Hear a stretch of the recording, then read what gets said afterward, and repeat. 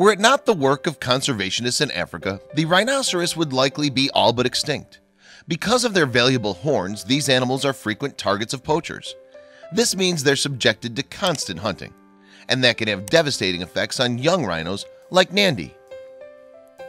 In November 2016, a baby southern white rhino, who would become known as Nandi, faced an impossible situation. Her mother had been killed by poachers, and at just two months old she was completely alone and unable to fend for herself.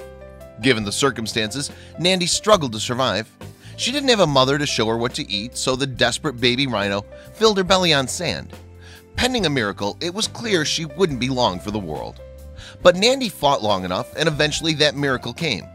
Rescuers came across the severely dehydrated rhino in the nick of time and rushed her to the Rhino Orphanage, a Wild Heart Wildlife Foundation supported nonprofit company in South Africa. At the orphanage, Nandi was given milk under the watchful eye of her caretaker, Jamie Trainer. Charged with her well-being, Jamie ensured the rhino received all she needed. She even slept alongside the rhino at night. But would it be enough?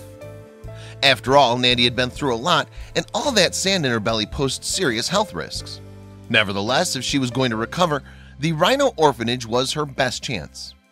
Day by day, thanks to Jamie and the orphanage's dedicated efforts, Nandi's vitals improved. She started eating solid food, not sand, and she was drinking plenty of water. She even made a few friends. Her first friend, of course, was Jamie herself. Every day the caretaker took the little white rhino on a walk, so the two had plenty of time to bond. But their relationship was a bit more playful too. For example, Nandi loved chasing Jamie around the grounds. She's a little rhino with a big attitude and has given Jamie many bruises already from playing, a Wild Heart Wildlife Foundation spokesman said. But Jamie wasn't the only friend the rhino loved to play with. While Jamie may have been dubbed the Rhino Whisperer, she actually rescued and cared for another species of animal too, and it was one that she would soon introduce to Nandi. Jamie had rescued Mewy, the cat, when she was just a few weeks old. The cat followed her wherever Jamie went around the rhino orphanage, so she was bound to bump into Nandi sooner or later. But would they get along? Sure enough, during her time spent recovering, Nandi came face to face with Mewy and it didn't take long for her to find out that she had a few interests in common with the handsome feline. They get along pretty well because they both love to go for walks, Jamie said. Mewy needs to be carried back from the walks because he gets too tired. But that was alright because then the two could participate in another favorite activity.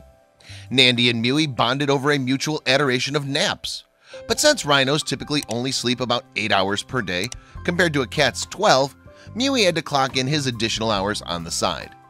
With her new friends by her side, Nandi took massive strides towards her recovery. In fact, with her general demeanor, psychology, and health trending upwards, caretakers hoped she might be able to someday return to the wild. But then there was a hiccup. In February 2017, just a few months after Nandi's initial rescue, poachers raided the rhino orphanage. They were hunting for valuable ivory tusks, and they were willing to kill to get them. As a result, Nandi was in serious danger. Thankfully, Nandi survived the poacher attack, but Jamie knew she wouldn't be safe at the rhino orphanage anymore. Complicating matters was that the orphaned rhino still wasn't ready to be released into the wild just yet. Authorities mulled over what to do with her. The orphanage opted to transfer Nandi, as well as another rhino named Storm, to a more secure facility called Zululand Rhino Orphanage. In March 2017, Jamie and Mewy officially said goodbye to their friend Nandi. Though saying goodbye was sad, it was a wise decision. And thanks to Jamie's great care and Mewy's friendship, in May of 2018, the Zululand Rhino Orphanage found Nandi fit enough to return to the wild. On the day she was released, the orphaned white rhino, along with her newest friend Storm, was nervous to leave the sheltered facility. They spent multiple days standing at the gate, unwilling to venture out into the wild on their own. Eventually, though, she and Storm stepped out of the fenced-in orphanage, and for the first time in their lives, they were completely free and it was all thanks to the friends they'd made along the way. Rhinos aren't often seen as playful animals, but then again, you haven't seen Nandi yet.